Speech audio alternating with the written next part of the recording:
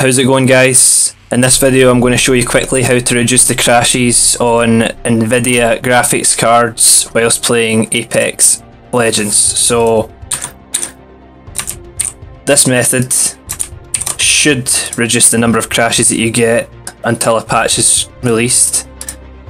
The Apex Legends developers team said on Reddit recently that they are working closely with Nvidia to try and fix the problem, but until then, these should improve and reduce the number of crashes that you get. So the first fix that you can do is right click on your desktop, go to NVIDIA control panel, and once this loads up, you can go to help and make sure that debug mode is checked.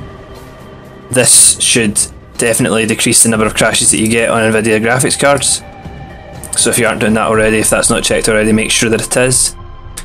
Uh, a second check that you can do, and a second test that you can do is once the game is opened, you can open the task manager, go to details, and find easyanticheat.exe. And if you go to the set priority and put it to low, this should also reduce the number of crashes that you get on NVIDIA graphics cards.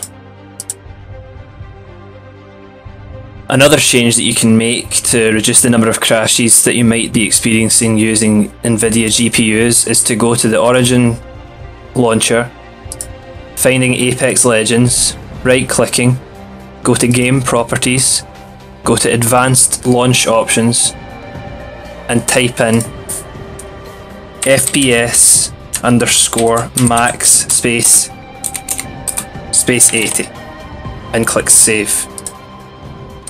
Capping the FPS at 80 has been shown to significantly reduce the number of crashes that people are experiencing using NVIDIA GPUs. Some final changes that you can make to improve your gaming experience using NVIDIA GPUs this won't particularly help with stopping crashes, but it will make the gaming experience smoother using Nvidia GPUs when playing Apex Legends. Is to right click the desktop once again, go to Nvidia control panel, go to manage 3D settings here. You want to go down and select maximum pre-rendered frames and put it to 1. You want to go to power management mode and select prefer maximum performance you want to go to preferred refresh rate and select highest available.